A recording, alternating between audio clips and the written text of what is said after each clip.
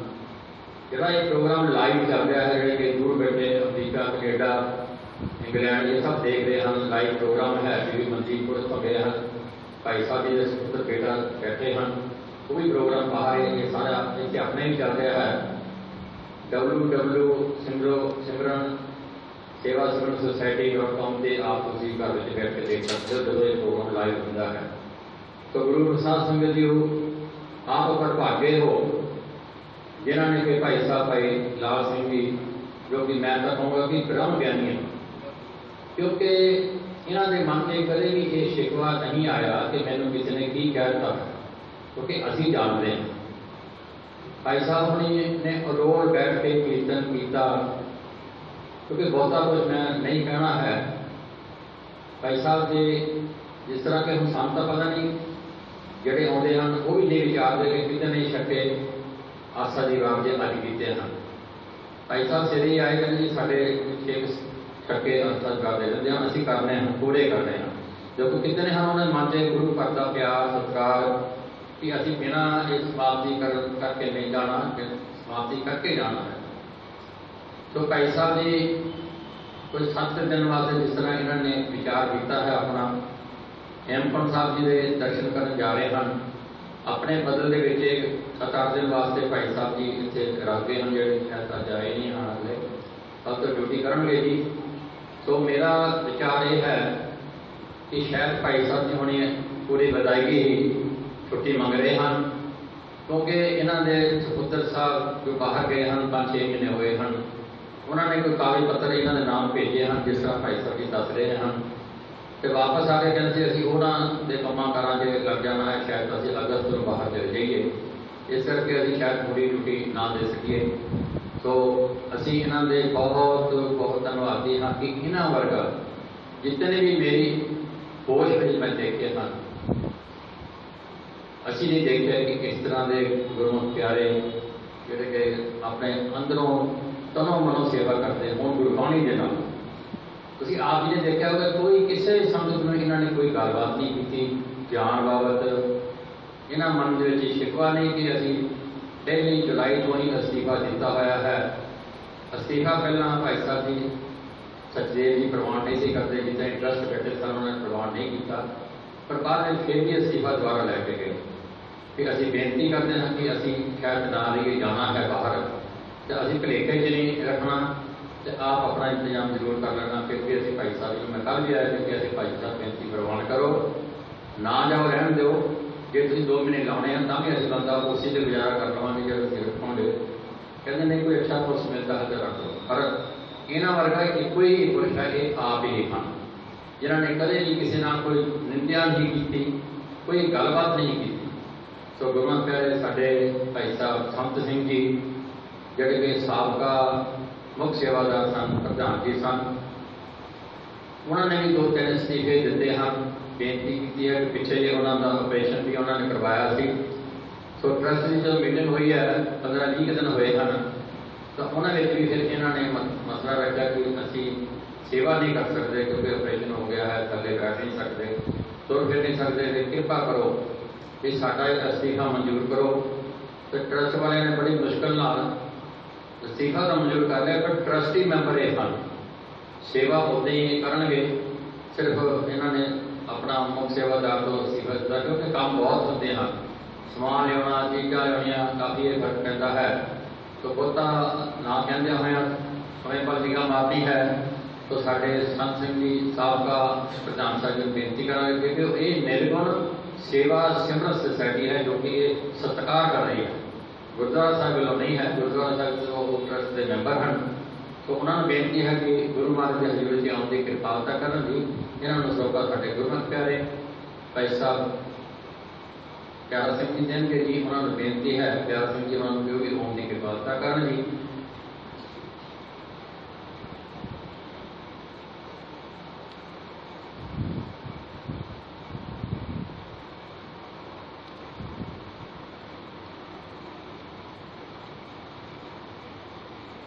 ਬੋਲੇ ਸੋਨਿਆਲ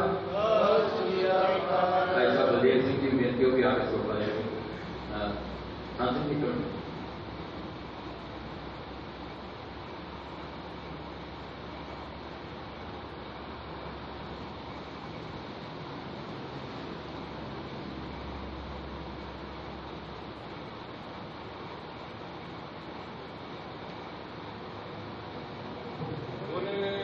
ਸੋਨਿਆਲ ਸਤਿ ਸ੍ਰੀ ਅਕਾਲ ਭਾਈ ਸਾਹਿਬ ਭਾਈ ਰਤੀਕ ਸਿੰਘ ਜੀ ਜੋ ਮੇਰੇ ਸਿਵਾ ਸ੍ਰੇਸ਼ਟ ਦੇ ਮੁਖੀ ਹਨ ਉਹ ਜੋ ਸਿਮਰਨ ਜੋ ਸ਼ਲੋਕ ਹੈ ਉਹ ਨਾਮ ਕੇ ਕਰਨਗੇ ਜੀ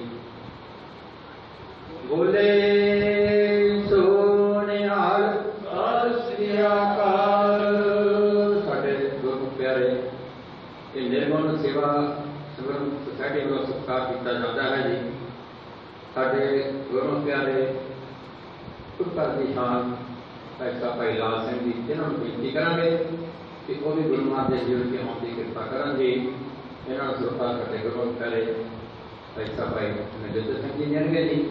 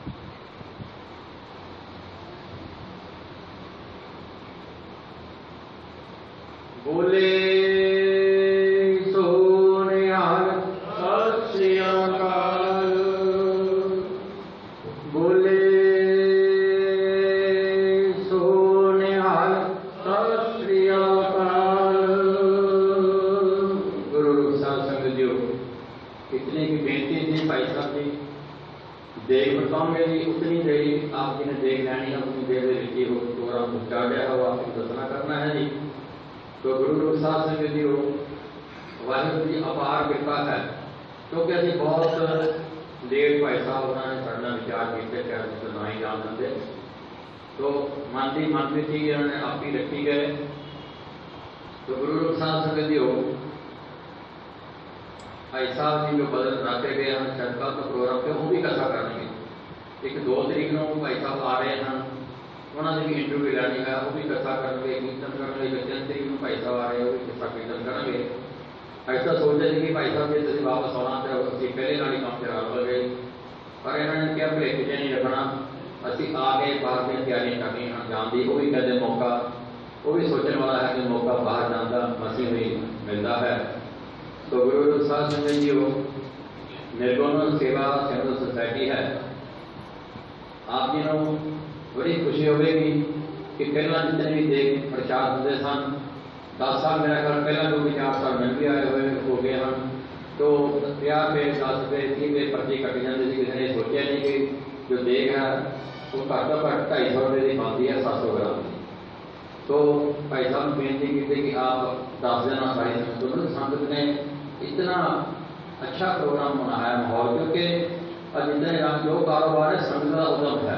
کسی کا نہیں ہے، تو تقریباً اٹھائی منفی نام آ گئے آگے اپنی خوشی کے نام وہ دیکھ پروان کیا کہ سارے وہ مہینے سے ایک باری آپ یہ ضرور دیکھ کر رہی ہے تو بےنتی ہے کہ آپ جانا نہیں ہے جب تک پروگرام کرنے کے اندر تو بےنتی ہے کہ آپ جی نے ایک یا دو دن پہلا ہی دیکھا، آپ کو دس دیا یا دس دیا جان گیا۔ ایک دو دن پہلے ہی آپ جی نے دیکھ نہیں پایا۔ ਇੱਥੇ ਦੇਣੀ ਹੈ। ਤੋ ਕਈਆਂ ਨੇ ਸਮਝਿਆ ਕਿ ਸੰਤ ਜੀ ਸਾਡੇ ਕੋਲ ਆ ਕੇ ਲੈ ਜਾਂਦੇ ਸਨ ਵੀ ਇਹ ਨਹੀਂ ਹੈ। ਜੇ ਆਪਣੀ ਸ਼ਬਦਾ ਹੈ, ਤਾਂ ਗੁਰਦੁਆਰਾ ਸਾਹਿਬ ਆ ਕੇ ਦੋ ਜੇ ਅਸੀਂ ਲੈਣ ਚਲੇ ਗਏ, ਤਾਂ ਵੀ ਸ਼ਬਦਾ ਤੁਹਾਡੀ ਅਸੀਂ ਜੋ ਸੇਵਾ ਕੀਤੀ, ਅਸੀਂ ਕਰ ਅਸੀਂ ਪਰ ਭਾਗੀ ਬਣ ਜਾਂਦੇ ਹਾਂ।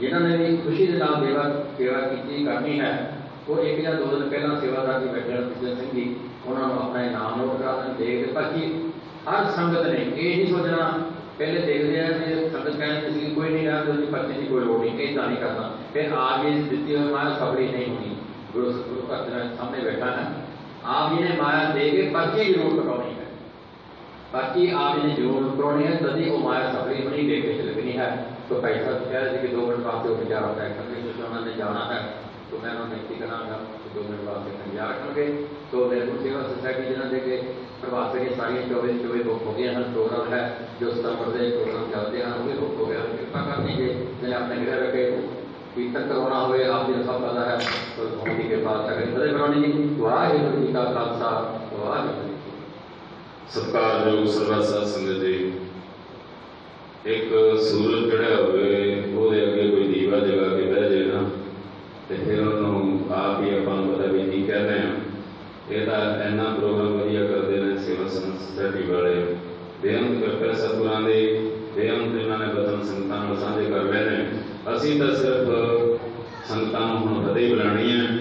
ਤੇ ਇੱਕ ਗੱਲ ਜ਼ਰੂਰ ਕਹਾਂਗੇ ਕਿ ਸਾਨੂੰ ਤਕਰੀਬਨ 30 35 ਸਾਲ ਹੋ ਗਏ ਸੇਵਾ ਕਰਦਿਆਂ ਨੂੰ। 49 50 ਸਾਲ ਦੀ ਉਮਰ ਹੋ ਗਈ ਮੇਰੀ।